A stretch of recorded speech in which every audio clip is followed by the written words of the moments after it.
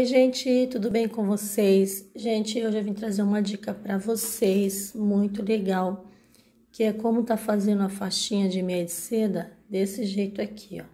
Tá vendo? Um jeito diferente, super fácil, né? Tem assim, ó, que é a meia larga, tá? Eu tenho um vídeo ensinando para vocês. Tem assim, que é aquela meia enroladinha, tá? Também tem um vídeo, vou deixar para vocês o link. E a meia, né, pra quem não sabe, ela vem assim, ó. Tá? Eu sempre uso essa passo fofo.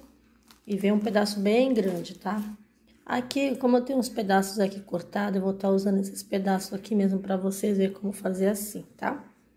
Então, aqui tem um pedaço com 14 centímetros. É muito fácil, gente. Eu vou fazer isso, ó. Vou pegar minha meia e vou dobrar até aqui o meio. Essa daqui vai ficar mais larguinha, porque o pedaço é maior, né? Ó eu faço isso. É super facinho. Ó. Você vai ajeitando assim e dobra o outro pedaço, o outro lado. Pra encontrar os dois pedacinhos no meio. Assim, ó. Tá? Aí, você vai ajeitando assim pra ficar bem certinho os dois pedaços aqui no meio. Vai encontrar, ó, tá vendo? Encontrou os dois pedaços aqui no meio. Agora é só pegar esse pedaço aqui, ó, e passar por cima assim. Gente, é super fácil, é uma dica bem rápida mesmo. Mas fica um modelinho bem legal. Que às vezes a mamãe não quer uma faixa muito fininha e também não quer uma faixa muito larga, né? Aí tem essa opção aqui, dá pra você fazer do tamanho que você quiser, ó. Olha como é que ficou essa. Essa daqui ficou com, deixa eu ver aqui, opa.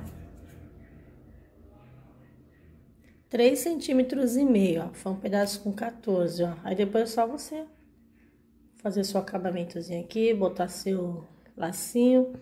Então, essa ficou com 3 centímetros e meio, que é um pedaço com 14. Ficou uma largura bem bonitinha, ó. Diferença da meia largona, tá vendo? Deixa aqui. Agora, eu vou fazer, deixa eu ver. Essa daqui é com 12, tá? Que é o tamanho que normalmente eu uso pra fazer essa meia aqui enroladinha, né? Vamos ver como é que vai ficar essa. Então, essa dobrinha aqui que eu faço só pra me ver mais ou menos até onde eu tenho que dobrar aqui a primeira parte, ó. Que é no meio. Aí você vai acertando, tá?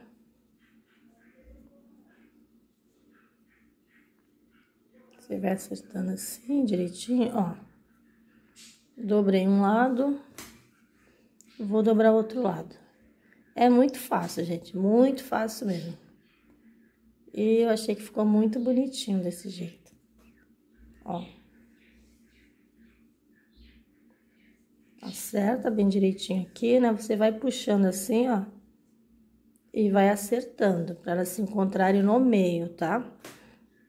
Então, só ter um pouquinho de paciência. Pronto, ó. Tá vendo? se encontrou aqui no meio, ó.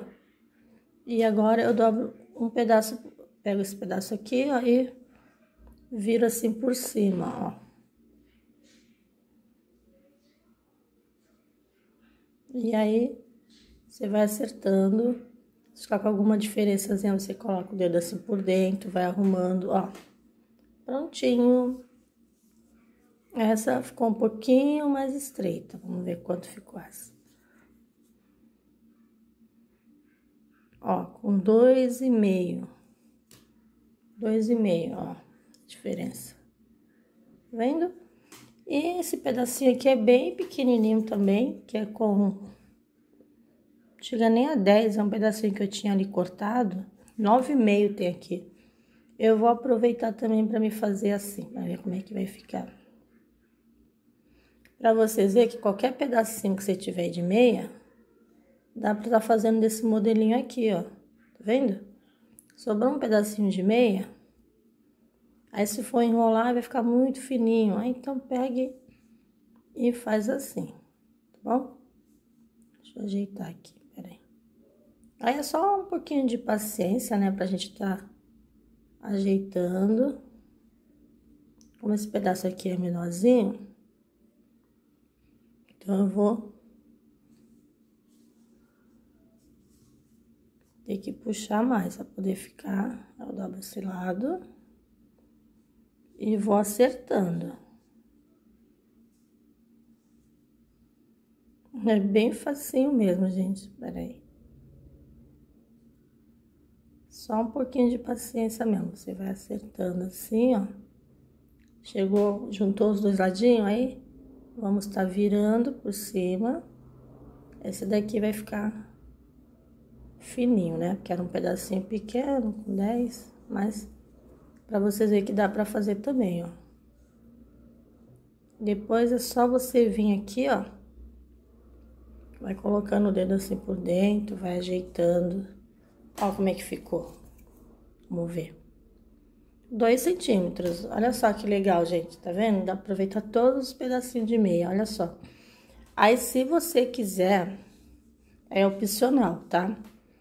É pegar cola, cola de silicone líquida e abrindo aqui, ó, e dando só um pinguinho bem pouquinho mesmo aqui, tá? Você pode até colocar cola de silicone num, num potinho e molhando com o palitinho e colocando só para pegar só um pouquinho para ficar grudadinho aqui, se você quiser. Se não, é isso aí, gente. Então, a dica de hoje foi esse, essa, tá bom? Como fazer essas meinhas de seda de um jeito diferente e um jeito super rapidinho, tá bom? Eu espero que vocês tenham gostado dessa dica. Beijos para vocês e até o próximo vídeo. Tchau!